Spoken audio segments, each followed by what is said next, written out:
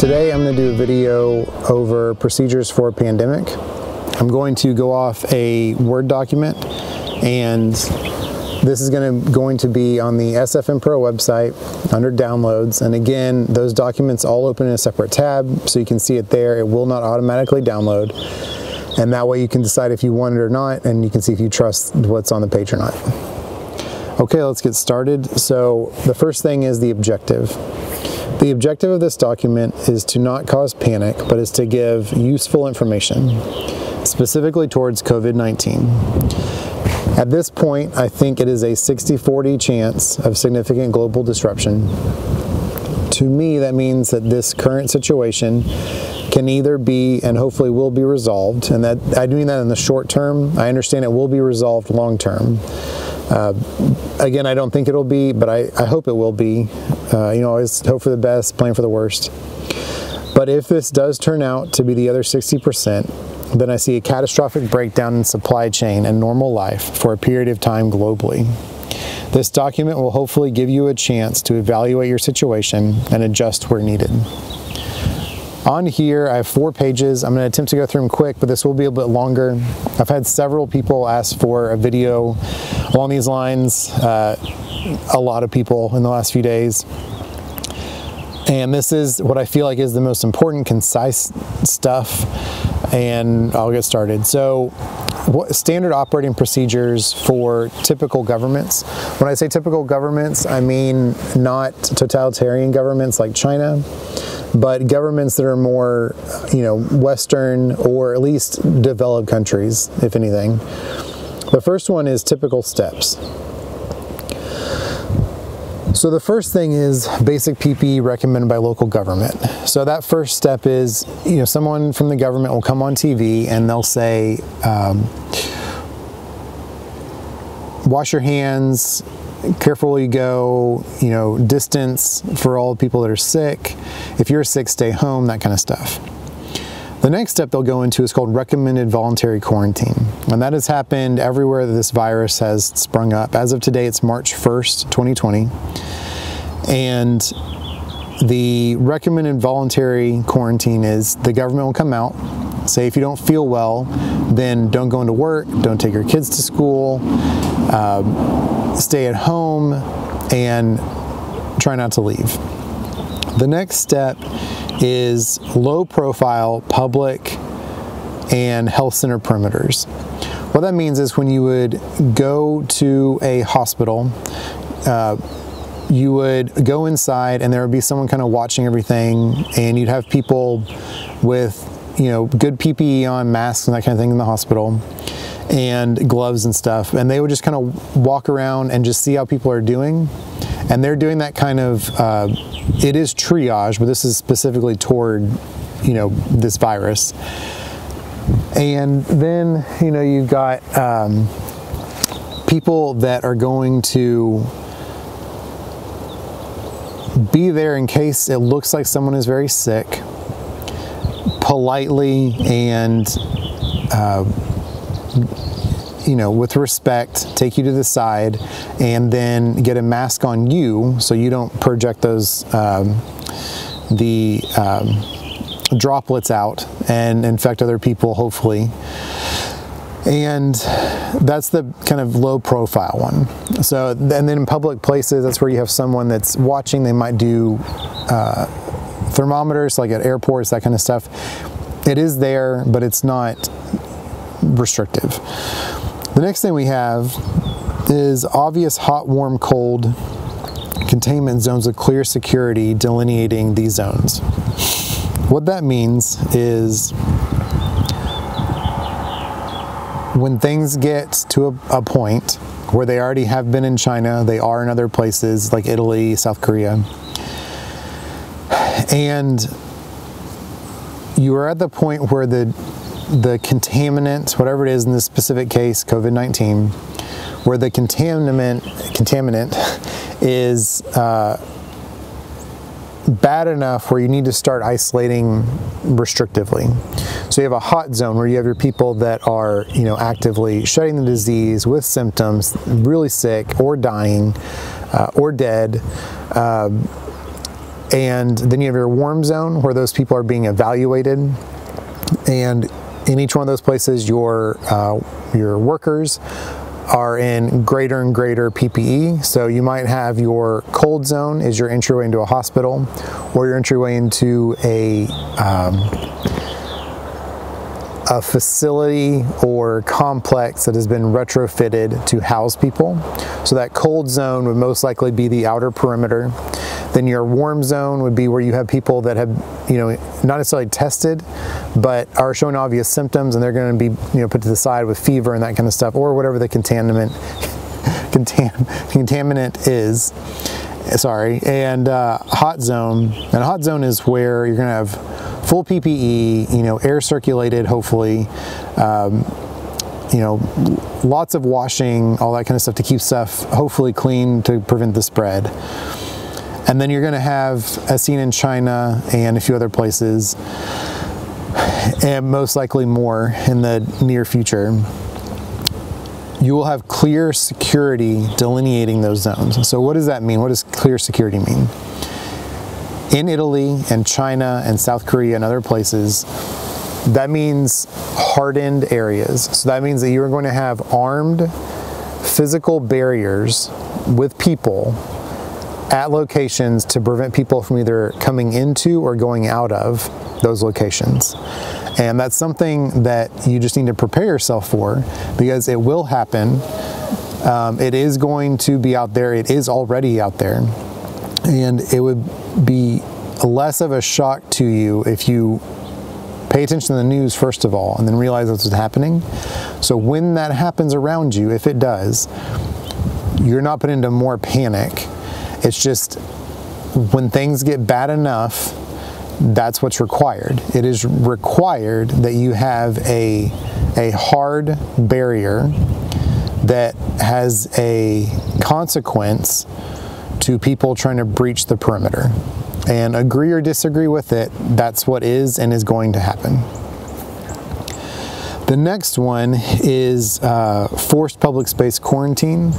What that means is you are going to have uh, public gathering places you can't go to, large, you know, office buildings, schools, concerts, parks, all those kind of gathering places are going to be deemed um, restricted by the local governing body. And in some cases, again, like in China, just because that's so obvious to everybody and everyone's seen that stuff at this point, is um, forced quarantine in places like apartments and hotels, cruise ships, where you are forced to stay there. And in China, they were doing, you know, welding of doors, bars on doors that were bolted or welded on. So it was very serious, and it is very serious. So that's what forced public space quarantine means. Next is full travel restriction of general public. This goes into that. Those those can go hand in hand sometimes, where they just do no travel, and that means that the local government says you can't leave. You cannot go to the store. You cannot go out and walk your dog. Uh, you you can't go and get gas. You can't go to the store. That's what full travel restriction for general public means. That does not mean you can't, you can go to the airport but not get on a plane.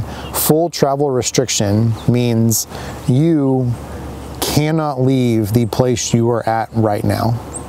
So if you travel a lot like I do, you need to take into account what that means. Does that mean that uh, you need to have a backup plan? You need to have your own personal kind of um, trigger moment that you're going to say, okay, things are at around this point, just go, you know, and deal with the consequences later. So it's something you need to consider. The next section I want to go into is, is financial. I have two, I have personal and corporate. The first is personal. If voluntary or forced quarantine occurs, you still have bills. Ensure when the epidemic or pandemic passes, you will not be in financial legal trouble for not paying mortgage, rent, car payments, and your regular bills. Because this will pass, this is going to be a very uh, dynamic and panic filled situation globally. It already is, it's going to continue to be for some time. If you are in a position where you choose not to go to work and that is your choice, or you choose not to take your kids to school and that is your choice, just know the governments are still going to want their taxes. You are still going to have bills, and those places are still going to want their payments because their pay because your payments are going toward those companies paying their employees. And you don't want to be stuck in a situation where you have legal ramifications for making the choices you do. So if you do decide to bug out, you do decide to shelter in place, whichever option that is, make sure you are financially set for some period of time during that. The next is government. Uh, government can implement bank holidays to lessen large groups of people gathering to re reduce sickness spread. This means if power or cyber systems suffer as a result of people not coming into work or as a result of a hacker jumping on an opportunity, cash will be the most common short-term trading option. And that is typically global. Corporate. Supply chains can be affected and products can be slowed down or stopped. So right now, uh, the antibiotic issue that's going, or well, medications in general that are going on because China produces a majority of the world uh, base components for medications and then those get sent out to where they're going to to then be made into full drugs. And right now that's an obvious one. Uh, electronics that's a pretty obvious one. But it can keep growing from that and so that is a on the corporate side Number two, slowed supply chains can either be a large corporate financial concern or in some cases cause a reaction to many other businesses. And that goes back into the drugs, electronics, that can go into food, that can go in all kinds of stuff. So say a trucking industry, the trucking industry drivers say, we don't want to go somewhere and leave our family, and we don't want to take whatever that is and drive to another location and drop that off where they could get sick and then bring that home to their family. So that's just something to keep in mind. Security. This, I have two different sections, health and physical security. For health, if obvious sick people are around you, use distance and barriers to separate yourself. Wash your hands, try not to touch your face. It's really hard not to do. I just did a second ago. I try not to. If anything, if your face is really itching or, or you just need that scratch or something, try and use your shirt. So you can take your hand in, in your shirt and that gives you shouldn't if you don't have to, but that gives you a barrier uh, of not touching your hands because your hands are touching all kinds of stuff all day long. You know, between handrails and doors and just stuff you're not even thinking of, windowsills, pins in places, all those kinds of things can hold specifically this virus and any kind of contaminant. Next is physical security. As panic begins, there is typically a rush to buy items. This means that stores will be areas to avoid, and that is already happening in several parts of the world. It is starting to happen in the States. Hawaii had a run on the stores, New England's had a run on the stores. Wherever this virus for this specific thing starts to come into play, there are people that get nervous and they want to rush to buy stuff. When shelves in any situation start to go bare, like in hurricanes or anything else, Black Friday sales, when that starts to happen, people get agitated and or scared and they want to get their stuff. So they take it from people that are holding it next to them. And you just don't need to be in that situation. Number two, you will want enough cash on hand to deal with emergency, excuse me, you will want enough cash on hand to deal with emergencies if banking systems are overwhelmed or there is a banking holiday to reduce gathering to reduce gathering places as previously stated. So again, cash, uh, short term, that's the way to trade. If a quarantine is enact- if a quarantine is enacted, then depending on the severity, you'll be forced to stay inside or on your property. The problem with a quarantine or other major disaster is the people typically available for law enforcement or fire medical emergencies might choose to be home with their families, especially in a pandemic. They will not want to bring a disease home to then infect their loved ones.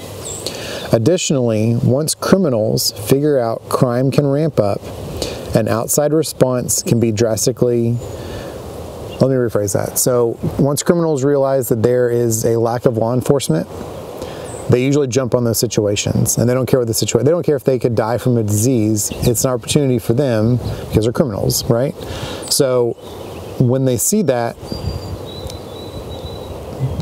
you need to make sure that you're prepared for lower law enforcement response because they could again like i just said be at home with their families not wanting to go and get sick to then bring that home to their family because again the incubation time is really long.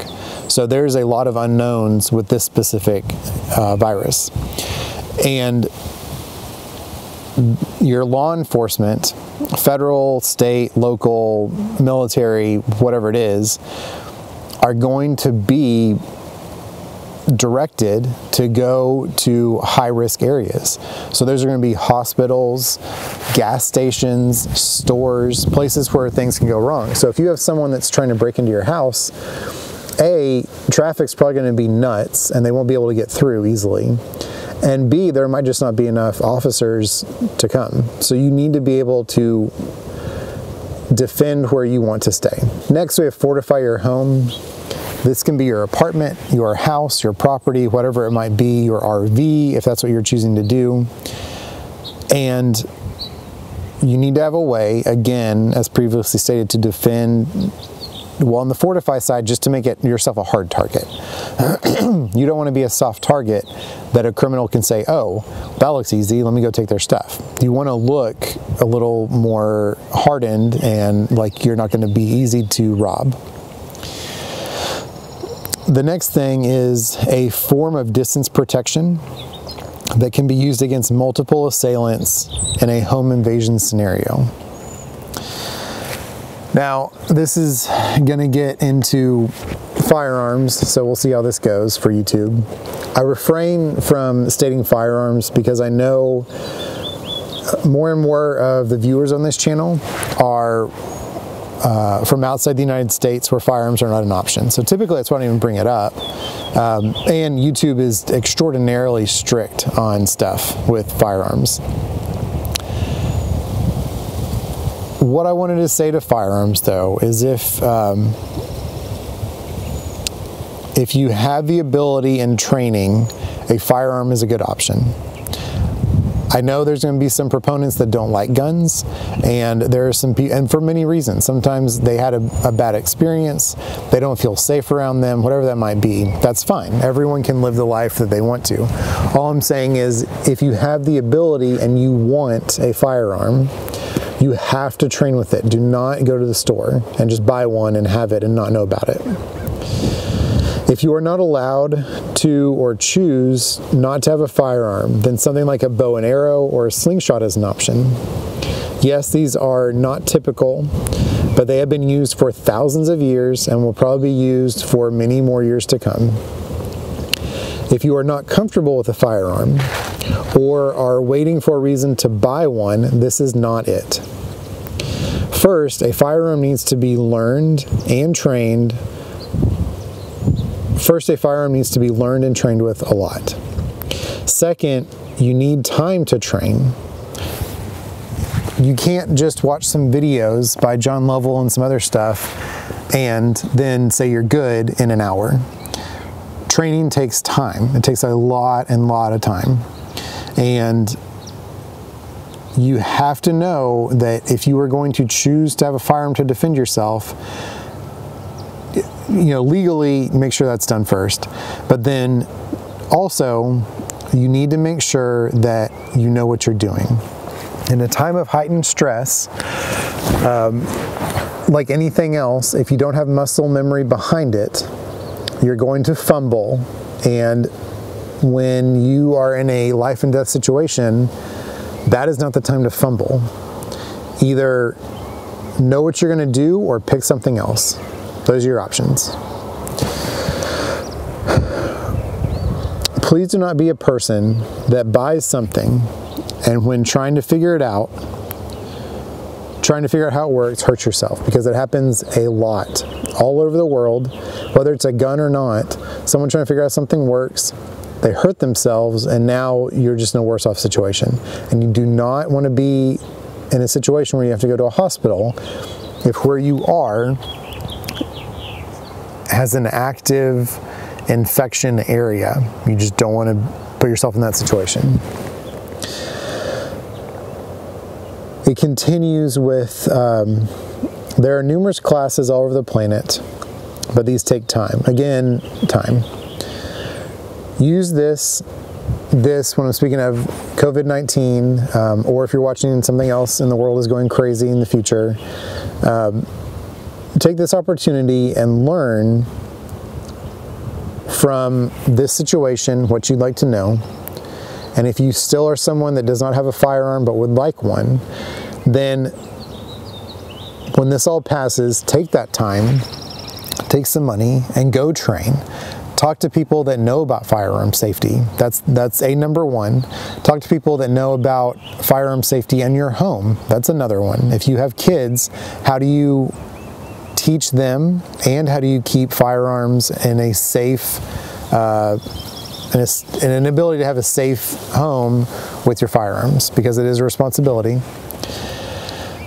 And then practice you know and go somewhere to practice. Don't just go to the range and you know shoot down the line. Go somewhere you're actively going to run. You're going to use uh, cover whatever those situations are just make sure you go to those but don't just get a gun and think that's going to help stuff. So there are plenty of options. There's a Byrna, that's a non-lethal, and it does have enough kick uh, to, you know, at least make someone think twice. Um, again, I know I said slingshot, but I mean those balls are sometimes the size of nine millimeter bullets, and they can go really fast and cause a lot of damage. I mean they're steel ball bearings flying at someone with, with you know, force. Uh, and then a bow, I mean, you, people still hunt with that, so it's, it is an option. Moving on, food, the obvious, the first and obvious is supply chain. As seen in China, Italy, and South Korea, at this point, when panic buying become, begins, supplies do not last long, and when Again, as seen in China, Italy, and South Korea, when a hot zone is declared and a quarantine instituted travel in and out of restricted area to sorry, when a quarantine is established and it's set up for people only as a needed basis, so that's not the general public. That's not you, that's not me, that's you know, that's that's people that have to get in for work. This means those store shelves will not be stocked quickly. So once those shelves are empty, if you are in those, you know, kind of dire situations, that means that those trucks are not coming soon to restock. Water. You need water stored for one week in a rugged case similar to water bricks. It would also be prudent to filter your water from, multi, multi, from municipal water sources. While typical water, excuse me, while typical public potable water utilities do chemically treat your water, if the situation around you has become bad enough, a possible full quarantine is happening, you should take enough precautions. Take, as, take every precaution you can to give yourself every advantage as possible. So that means, just like everything, you want to make sure you're giving yourself every chance at not getting something, and then if you get it, giving yourself yourself every chance to get better from it. We're almost done, I promise. We're running at 25 minutes. I'll try and knock this next part out. General supplies. What should you have? Two months of toilet paper, two months of paper towels. It is good to have washable napkins and washable dish towels because that will save in the long run. But you also want to have paper towels for wiping down with a bleach solution before you bring anything into your home. These towels can be thrown away or burned if possible, so remaining contaminants cannot grow and spread. Bleach, lots and lots of bleach. your common groceries that you would get on a regular basis, just extra. Long-term food storage, this is Thrive or Mountain House, whatever you choose, or whatever brand, but some kind of freeze-dried food for two months for each person that will be with you during an emergency. Spices and seasonings that you like because stuff is going to get dull. Drink mixes like Crystal Light Lemonade or some other kind of uh, water solution drink mix entertainment. In a worst case scenario, internet and non-emergency television and radio could be stopped. This is a good time to have board games, cards, books of board games, ebooks, real books, something that can help pass the time. The next thing is vice items. Uh, candy and chocolate, something just to help you smile. And they can also be treats for kids because if you have kids, it could be hard if you have to get there and they're just not used to that and then tobacco and alcohol. But to go with tobacco and alcohol, I do not encourage and I try to never encourage bad habits that are unhealthy. However, if you are a smoker or you drink on a regular basis, a pandemic and forced quarantine is not the time that you want to be into withdrawals. That is a, a chemical change in your body that you do not want to deal with in the midst of everything else. So if you are a person that, that does a lot of tobacco or drinking, you need something to either wean yourself off, think about that ahead of time or now, um, or or just have that as a supply. But you do not need to be in withdrawals chemically because that's just going to put responders at risk because you're going to call 911 because you think you're dying. So just don't be one of those people.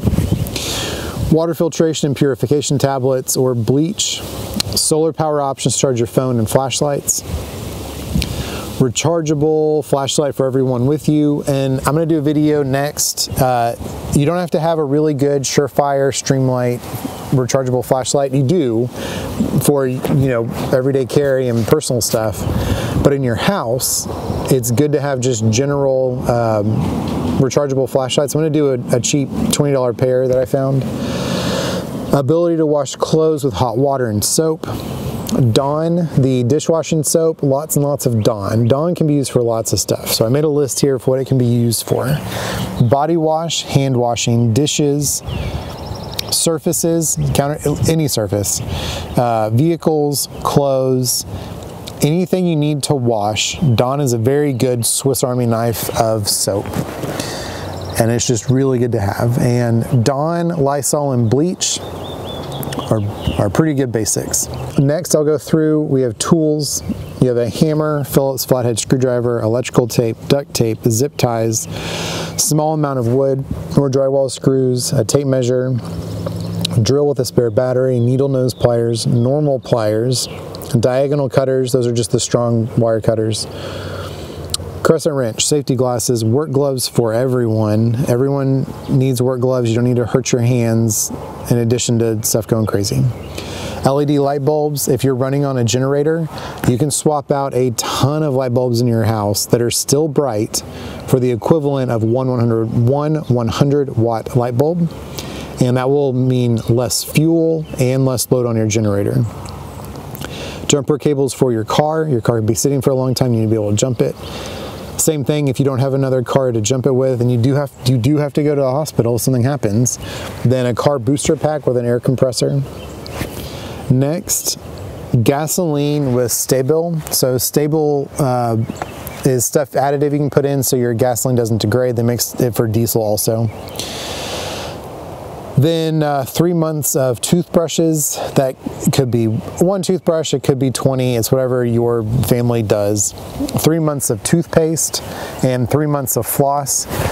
Your mouth is the is a key part in your body being healthy, so you need a clean mouth, especially if things are going crazy. Medical stuff. Almost done, I promise. Medical stuff. You will not want to go to a hospital to chance getting sick if at all possible. This means for basics, you need to be self-sufficient for a while. Major trauma items, these are tourniquets, Israeli bandages, sterile, sterile roller gauze, occlusive dressings, that's for chest wounds. And again, those are to get you to the hospital.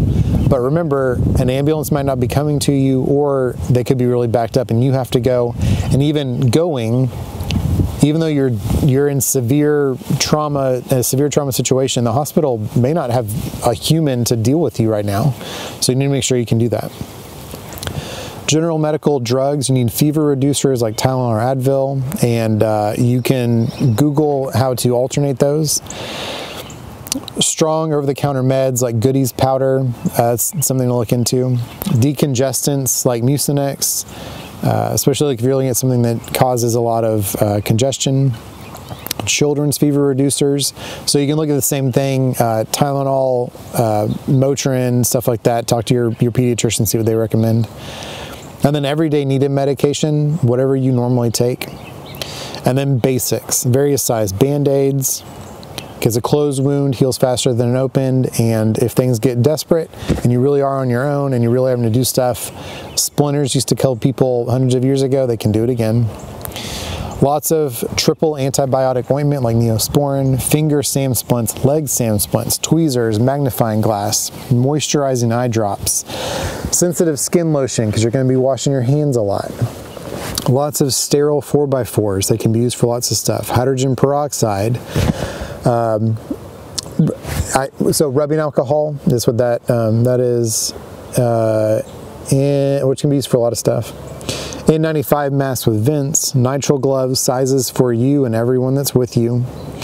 Uh, forehead temple thermometer, a couple of them, and batteries for them. Next is communications. Uh, world band radio with a uh, high frequency, with high frequency and ability to power it. World Band Reference Book. They sell books that have the whole planet in their uh, stations, who's there, what time they talk, and all that kind of stuff. That's really good. Chargers for your cell phone. Cell phones are still really good. Uh, the chances of cell phone networks going down are very low, but it's always possible. So even if the cell phone can't make a call, you can use stuff if you have a GoTenna. If you have an Iridium Go, you can use it for that. You can use it for games, books, all kinds of stuff. Two-way radios for each person with the ability to charge satellite phone or a satellite two-way messenger if traditional cell phone networks uh, have an outage. Radio scanner, I've done the Uniden Home Patrol 2, I think is what it's called, and that's a really good one. That way you know what's going on with your public um, public sectors, so your police, fire, water, all that kind of stuff. Okay, then to wrap this very long video up, uh, the last thing is a religious book. I don't put this in here to cause panic because that's already out there. Um, but I do think in a pandemic, this is important. I personally am a Christian, and I have a paper Bible that uh, we have as a family. We have, I mean, we have a few of them, but um, we have one that stays with us um, away from our main house. And uh, when you get scared and there is an unknown out there, and I mean truly, genuinely scared for your life, um, you're going to reach out to something. You're going to pray, you're going to yell out to someone. And um, I have known several atheists, and even in those situations, those atheists have said they have turned to a faith of some kind.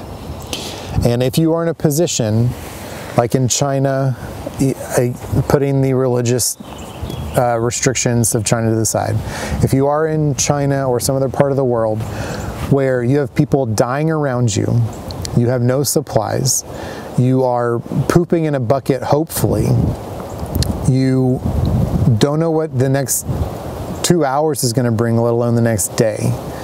When you are in that level of a situation, which I hope again we don't get to, but when you're in that level of a situation, you will want to have something to look up to of higher power. Um, if you are a different religion other than Christianity, then you need to have a, a paper book of whatever it is you believe. And that is really, really important because you need something to rely on when, for real, things start to go south. Okay? Then, conclusion. I want to restate again now that now is not the time to panic. However, not, now is the time to be vigilant with global current events. If you have the ability to prepare, then you should. If you do not have the ability to prepare, a good option is to buy a little extra each time you go to the store and to get a little more cash each time you get paid. I mean, actual cash in hand. Over time, this will add up to a healthy insurance plan. And I don't mean health insurance or life insurance, I mean food insurance and living insurance, being able to eat and go to the bathroom and have healthy things, that kind of insurance. I also want to state this current situation will pass, just like every other past pandemic. The Spanish flu passed, Ebola passed, all these things have passed. Some were significantly more catastrophic than others. Time will tell how this goes. We're still very early on to this whole thing. This it has only been nine weeks into late December when this whole thing spun up. And we are looking at some really bad numbers. So we have a long way to go, but it will pass. This will hopefully be a lesson for us as a planet where supply bottlenecks are globally and to use this as a to be a better global economy and a global society. We are watching, especially in the last week, uh, every global market crashing and every monetary system showing those results. Uh, food supplies are being hurt.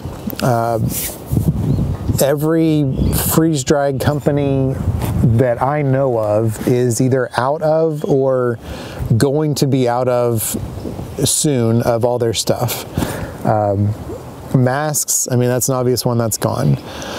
So, you know, hopefully this will be something where people, when this all passes again, that it'll remind people to want to be better prepared.